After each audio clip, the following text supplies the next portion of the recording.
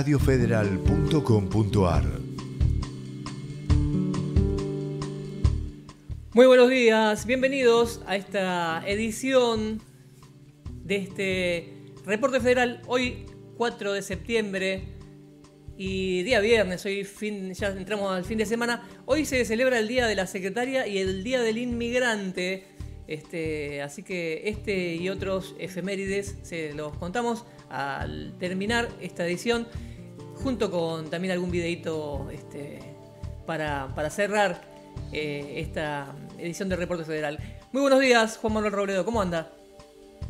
Muy buenos días, 10 y 51, muy bien, 12 grados la temperatura, máxima para hoy 18 y después le voy a contar cómo se viene el fin de semana. Comenzamos con la lectura de las principales portadas de los matutinos de nuestro país, Argentina, pero tenemos que comenzar por el diario regional de Pilar, que tiene como principal noticia en su parte superior, siempre la deportiva, Dani González firmó con Chicago y se suma a la Legión Pilarense en el ascenso.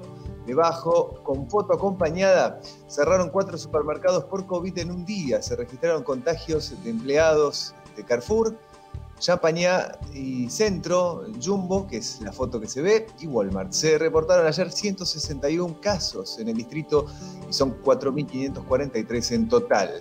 Otra noticia, los detalles del programa. Habrá más de 10 mil millones para seguridad y más agentes. El gobierno va a anunciar hoy el plan para el AMPA.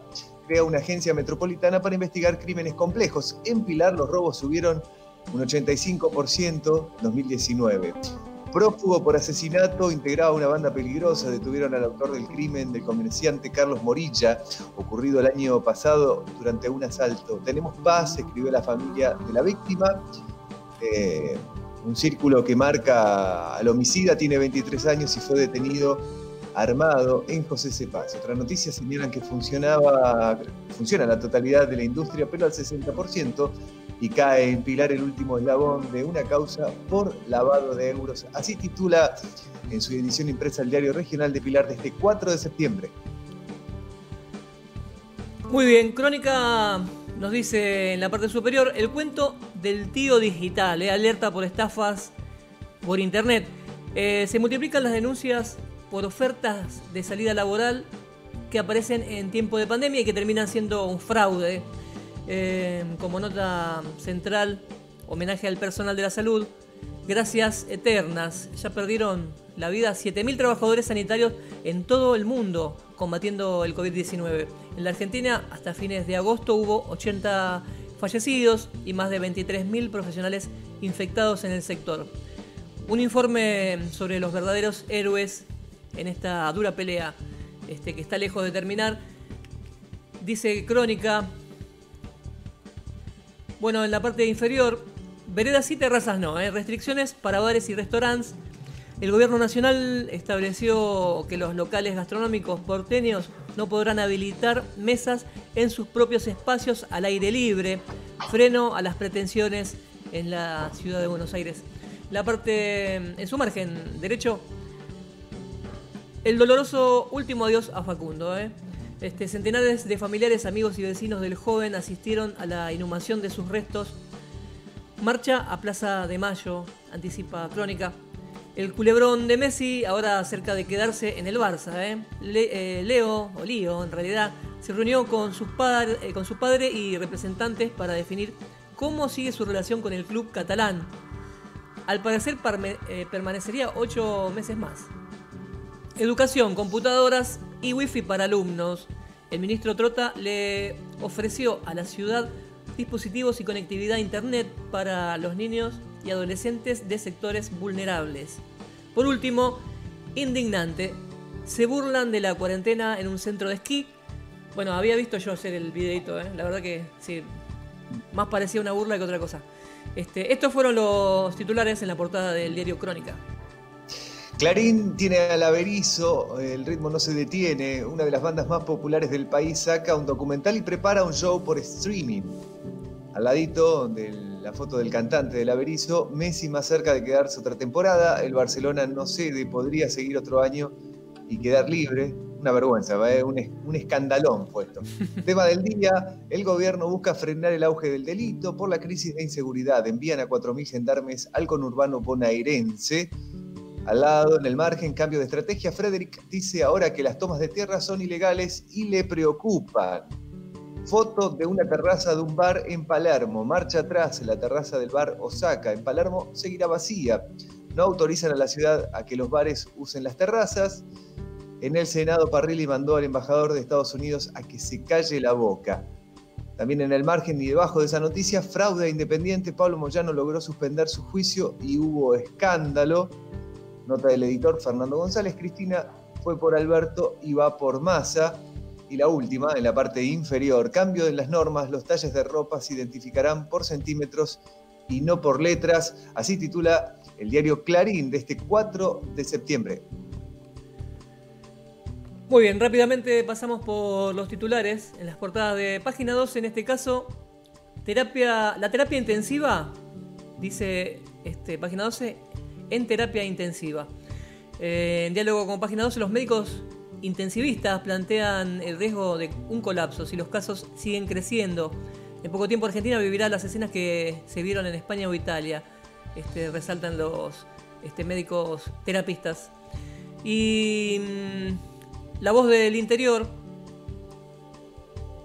el 60% de las muertes fueron en agosto, eh, referidos al COVID-19 por supuesto, nos dice el diario este, cordobés La Voz del Interior. Por último, el diario deportivo Olé. Se mete en el mundo Boca. Bueno, tienen dos planteles, ¿eh? uno sin virus y otro con virus. El titular es Boca en la Copa, Corona Equipos. Este, ¿Qué lío tiene Russo? Olé arma el equipo que podría formar si jugarían hoy, ¿no? Y este, otro con los infectados. Bueno, sin arquero, claro. En el equipo sin virus está Lastra, no sé. Acá, según Ole. Este, se fue mm, Juanfer Quinteros, eh, sin anuncio oficial de su pase a China, tiró este, onda al hincha y no a los dirigentes. Feliz pero no tanto, dice mm, este, Olé. Y horas decisivas para Leo en su laberinto. Leo es este, tómelo como lío Messi, en realidad, porque ahora Messi se piensa si seguirá un año más, también como decía mm, Juan Manuel, este, un, culebrón, como decían en estos días. Estos fueron los titulares en las portadas de los principales diarios del país. A las 10 y 58 le traigo la imagen del día. Estamos viendo una frazada con eh, em, el motivo gatito. Fíjense cómo este gato se mimetiza con esa misma frazada. Bueno, cosas que pasan, ¿no? De tanto tiempo estar acostado en plena cuarentena. Así disfruta este gato, este relax eterno, cuando tenemos una temperatura de 12 grados, día también para estar guardado. Máxima para hoy 18, el cielo va a estar algo nublado. Para el fin de semana, sábado y domingo, cielo despejado temperaturas cercanas a los 18 grados. Se empieza a sentir de a poco la primavera, en la semana sí, ascienden las temperaturas y de a poco se va adelantando esta primavera y este invierno que pasó casi desapercibido, por lo menos aquí en plena cuarentena, Marce. Los que tuvieron un lindo amanecer hoy este, son los habitantes de Bariloche. Eh, acá, gracias a mi amigo Claudio Peralta, tenemos una imagen. ¿Cómo fue el amanecer hoy en San Carlos de Bariloche? Tiene una vista privilegiada, la verdad que lo envidio sanamente, ¿no? Este, le mando un abrazo grande a mi amigo Claudio Peralta, amigo y compañero de la secundaria, ¿eh? Está viviendo allá. Este, y les cuento que hoy eh, se celebra el Día del Inmigrante en la Argentina.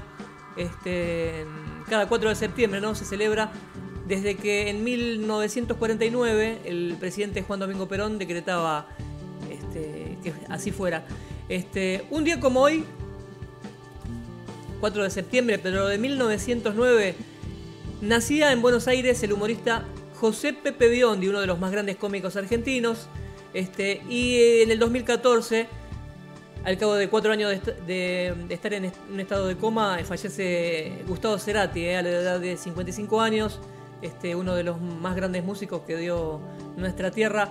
Así que nuestro este, recuerdo también para Gustavo Cerati líder de la banda Soda Stereo.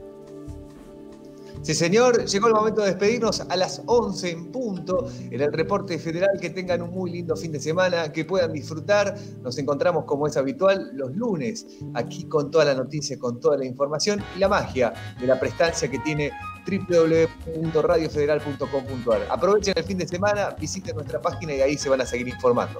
Sí, señor. Antes de despedirnos, quiero saludar principalmente a mi hijo Santiago, que cumple años, este, 12 años. ¡Feliz cumple!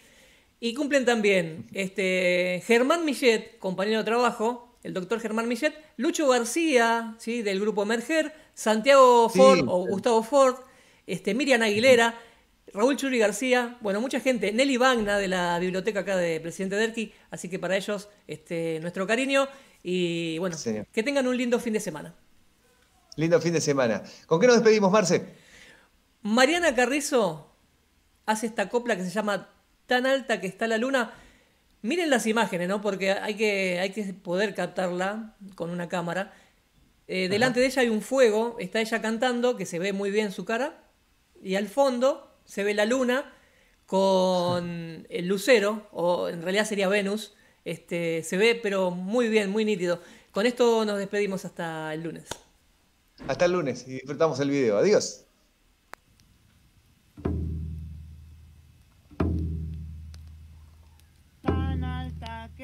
la la